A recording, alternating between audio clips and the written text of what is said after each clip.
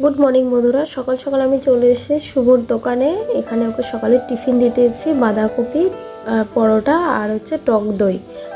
একটু চিনি দিয়ে দিয়েছিলাম। তারপরে সকালবেলা চলে গেছিলাম বাজারে, ওকে টিফিনটা দিয়েছে বাজার দিয়ে এনেছি। দেখতেই পারলে দুধের প্যাকেট এনেছি, একটা আমুলের টেট্রা প্যাক, আমুল গোল্ড, আর হচ্ছে কাঁচা লঙ্কা ফুরিয়ে গেছিল সেটা, আর এখানে চিকেন। তো আজকে রান্না হবে হচ্ছে চিকেন।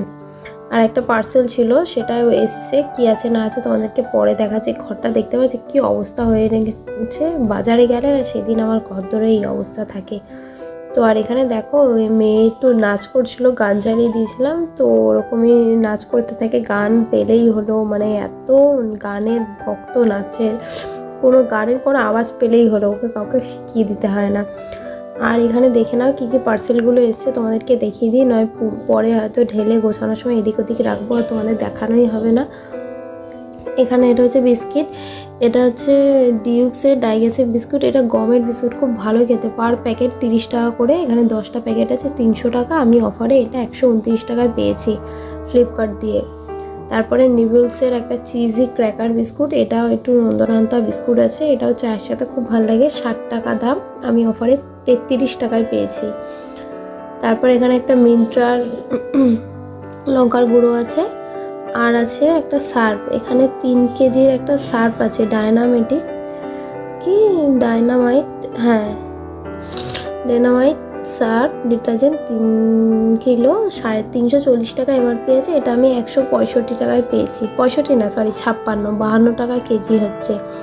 তো বিস্কুটটা তিনশো টাকা আমি পেয়েছি, একশো উনত্রিশ টাকা, সার্ফটা তিনশো চল্লিশ টাকায় পেয়েছি আমি অনেক অফারে। এটাই ছিল আজকে শপিং আর এখানে দেখো, দুপুরে রান্না করে নিয়ে যাওয়া। তোমাদের সাথে কিচ্ছু শেয়ার করা হয়নি আজকে। কালকে বাঁধাকপির তরকারি, ওদিকে ভাত দেখলে। আর এটা হচ্ছে গরমা গরম চিকেন কষা। আর এটা হচ্ছে মেড চিকেন স্টু আর ভাত। এটা মিখিতে পেস্ট করে রেখেছিলাম। আর চিকেনটা বেশ ভালোই হয়েছিল। গতকাল তার আগের দিন যে রাত্রিরে চিকেন করেছিলাম, ঠিক সেই টাইপের করেছিলাম চিকেনটা তো আমরা দুপুরে খেয়ে নিই, তারপর তোমাদের সাথে আবার পরে কথা হচ্ছে। হ্যালো বন্ধুরা, তোমরা সবাই কেমন আছো? আশা করি সবাই খুব ভালো আছো। আমিও খুব ভালো আছি। আমার নতুন একটা ভিডিওতে তোমাদের সবাইকে অনেক স্বাগত। আজ আমি তোমাদের সাথে শেয়ার করব কেন আমি লকডাউনে বিয়ে করেছিলাম। অর্থাৎ কি এমন হয়েছিল যে আমাকে লকডাউনে সাত তাড়াতাড়ি বিয়ে করতে হয়েছিল? তো প্রথমত তোমাদেরকে বলি, আমি তখন উচ্চ মাধ্যমিক দিচ্ছি তখন আমার যে হাজব্যান্ড শুভ, ওর সাথে আমার আলাপ। তখন থেকে ওর সাথে আমার রিলেশনশিপ টানা দু বছর, তিন বছর রিলেশন ছিল। তো আমার ইচ্ছে ছিল এটাই যে গ্র্যাজুয়েশানটা কমপ্লিট করব, তারপরে ওকে আমি বিয়ে করব। আমার বাড়িতে প্রথমত, প্রথম থেকেই শুভকে কোনোদিনও মেনে নেয়নি এবং পছন্দ করতো না। এবং আমি ওকে ছাড়া বিয়েও করব না, আমি এটা বলে দিয়েছিলাম। তারপরে আমার বাড়িতে কি বলতো, একতরফা মেনেই নিয়েছিল। মেনে নিয়েছিল বলাটা ভুল, মেনে নিতে বাধ্য হয়েছিল আমার জন্য। যেহেতু আমি বলেছিলাম আমি ওকে ছাড়া বিয়ে করব না। আর জানো তো, ওকে অপছন্দ করার অন্যতম একটা কি কারণ? ওর বাড়ি ঘর নেই, ওরা ভাড়া থাকে। এর কারণ একটাই, যে ওর বাড়ি বাড়ি নেই, ভাড়া বাড়ি থাকে, এরকম। তো ওই জন্য আমার বাড়ির লোক সবসময় ওকে খুব নিজ চোখে দেখতো। এবং আমি কোনোদিনও কারও টাকা পয়সা দেখে কাউকে বিচার করি না এবং তার মানুষটাকে দেখেছিলাম। সে ব্যক্তিটা মানুষ হিসেবে কীরকম? আমি যার সাথে থাকব, সে ব্যক্তিরা অ্যাজ এ পার্সন হিসেবে কেমন সে? সে যদি সত্যিকার একটা ভালো মনের মানুষ হয় না তাহলে হতে পারে তার ইনকাম ঘপ সে গরিব হোক না, কিন্তু আমি সারা জীবন তার সাথে হেসে গেলে কাটিয়ে দিতে পারব। কিন্তু সেই যাকে বিয়ে করব, সেই ছেলেটাই যদি তার চারিত্রিক বৈশিষ্ট্যটাই যদি ভালো না হয় যতই তার তার সাথে টাকা পয়সা থাকুক, তোমরাই বলো তার সাথে কি সুখে থাকা যায়? তো এটাই হচ্ছে, ছিল আমার কথা। তো আমি বাড়িতে বলে দিয়েছিলাম যে আমি ওকে ছাড়া বিয়ে করব না। তো যাই হোক না কেন, আমার বাড়ির লোক একটা টাইম বাধ্য হয়েছিল মেনে নিতে। তো আমি সবসময় একটা কথা আমার বাড়ির লোককে বলতাম, জানো বন্ধুরা, যে যে যার কপালে খায়, আমার কপালে যদি সুখ থাকে, আমি ওকে বিয়ে করব, ওকে বিয়ে করেই সুখী হব। আর আমার কপালে যদি দুঃখ থাকে না, তোমরা যদি দেখে শুনে খুব ভালো একটা অট্টালিকা আছে, যার অনেক অনেক কিছু আছে, তোমরা তো ওটাই মনে করো যে, টাকা পয়সা থাকলেই জীবনের সব কিছু কিন্তু জীবনে বাঁচতে গেলে অর্থের প্রয়োজন অবশ্যই আছে। কিন্তু টাকা পয়সাটা দিয়ে ভালোবাসা কেনা যায় না। যদি টাকা পয়সা দিয়ে ভালোবাসা কেনা যেত, তাহলে ভালোবাসাও দোকানে বিক্রি হতো। যাই হোক, ওদেরকে অনেক বোঝাতাম, কেউ বুঝতে চাইতো না। যাই হোক না কেন, অনেক কষ্ট করে বাড়ির লোককে একতরফা বাধ্য করেই রাজি করালাম। তো আমার বিয়ের ছ মাস আগে থেকে আমার বিয়ের ডেট ঠিক হয়ে যায়, সতেরোই এপ্রিল আমার বিয়ে হবে। তো যখন সতেরো তারিখ বিয়ে ঠিক হয়, এবার লকডাউনটা হুট করে চলে আসে। এটা তো আর বলে কয়ে আসেনি। তো আমাদের বাড়িতে কেউ একজন আছে, আমি বিশেষ কেউ একজন আছে, আমি নাম বলব না। সে যদি ভিডিওটা দেখে থাকে তাহলে বুঝতে পারবে আমি কাকে বলছি। সে মনে করতো টাকা পয়সায় জীবনের সব কিছু আমি কখনোই এটা ভাবিনি। হয়তো আমি এটা ভাবিনি বলেই আজকে আমি যেমনই আছি, নুন ভাত খেলেও সুখী আছি। তো যাই হোক, সেই ব্যাপারে আমি আর ডিপলি যাচ্ছি না, বাদ দাও, যে যা বলে। মানে একটা কথা আছে না লোক ও কাম হে কেহে না।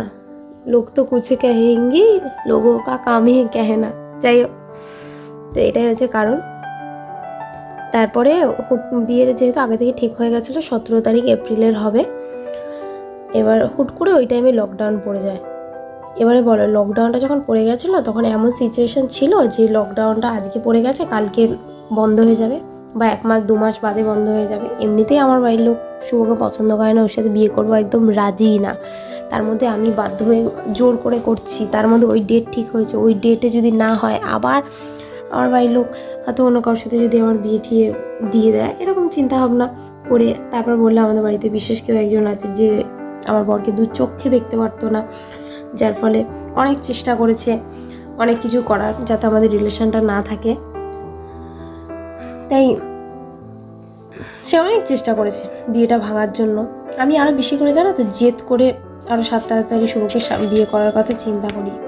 যেহেতু বিয়ে আগে ছ মাস আগে থেকে ঠিক হয়ে গেছিল, হঠাৎই লকডাউন করায়, কোনো অনুষ্ঠান করা যায়নি। তোমরা যারা আমার বিয়ের ভিডিও দেখোনি, তারা আমার চ্যানেলে লকডাউন ম্যারেজ বলে সার্চ করবে, দেখবে আমার চ্যানেলে আছে।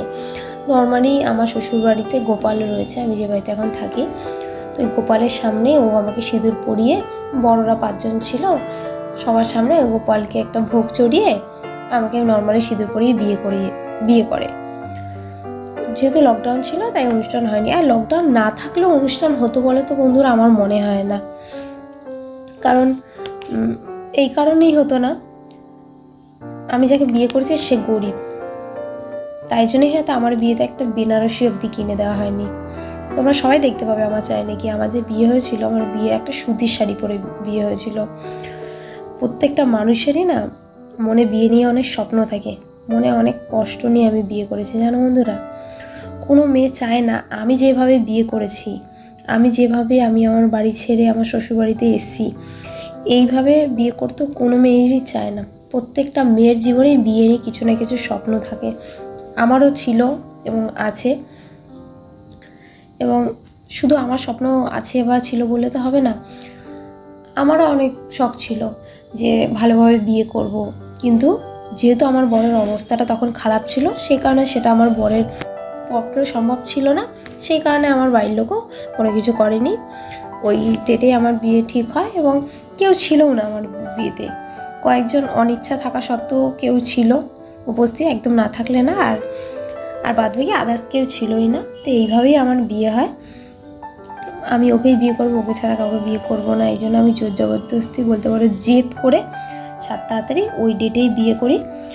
আর আমার জীবনে যে কিছু স্বপ্ন আছে, বিয়ে নিয়ে প্রত্যেকটা মেয়েরই থাকে। তোমাদের ভালোবাসা যদি পাই, তাহলে সেই স্বপ্নগুলো অবশ্যই পূরণ করতে চাই। এই ছিল আমার লকডাউনে সাত তাড়াতাড়ি বিয়ে করার কারণ। ভালো লাগলে please like comment share subscribe করে দিয়ে দেখা হচ্ছে পরের ভিডিওতে